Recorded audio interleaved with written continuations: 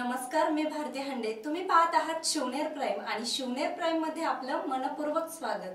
अनेक ठिकाणी पावसाचे सावट असून जुन्नर तालुक्यात जोरदार पाऊस झाला. या पावसामुळे राजुरी या ठिकाणी रात्री एक वाजता तन्वीर अहमद पटेल यांची आई नजमुन्निसा अहमद पटेल वय वर्ष सदुसष्ट या घरात झोपल्या होत्या.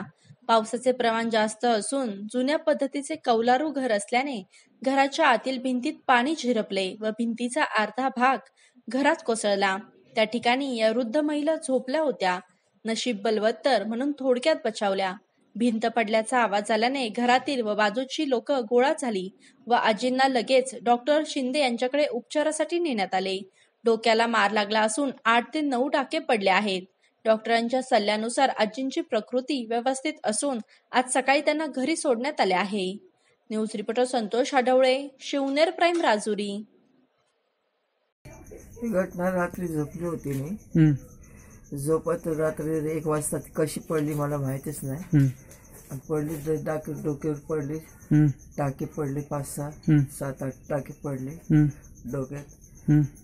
आणि मग ही अशी रात्री घटना घेतली ते रात्री लाइट गेली ती ती माहिती नाही पडलं मला लाइट गेली. आणि ती भीत पडली. काय मी म्हटलं माझ्या डोक्यावर कोण टा काय टाकलं काय माहीत? आणि तेव्हा लाइट आली तेव्हा माहीत पडलं का बाबा भीत पडली.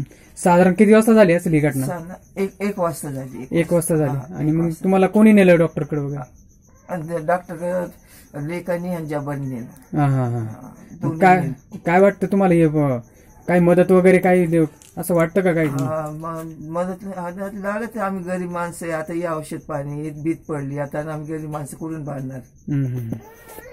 रात्री अ, बरेच अ, बरेच स्पीडने पाऊस चालू होता. आणि त्या पावसामध्ये आमची भिंत आजी आमच्या झोपलेल्या होत्या. एकदम गाढ झोपेत असतील एक दीडच्या दरम्यान. आणि आम्ही पण थोडंसं आम्ही पण झोपलेलो होतो. आणि त्या झोपेमध्ये आजीच्या तिकडून ती भिंत डोक्यावरच म्हणजे पडली. ते नशीब अपघातात ते बरेच मरता मरता वाचले असं म्हणायला काही हरकत नाही.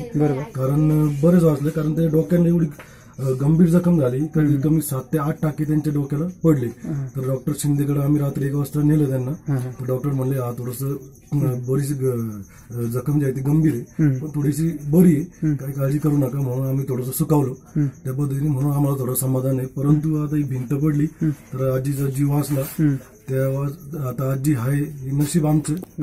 ठीक आहे. तर त्यांना आता त्यांची विनंती आहे का थोडंसं ते भिंत बांधायला वगैरे काही थोडीशी मदत वगैरे शासनाकडून झाली तर ठीक आहे.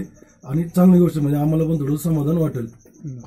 ताज्या आणि महत्त्वपूर्ण बातम्या पाहण्यासाठी आजच शिवनेर प्राईमला सबस्क्राईब करा आणि नवनवीन बातम्या पाहण्यासाठी बेल आयकॉनवर क्लिक करा.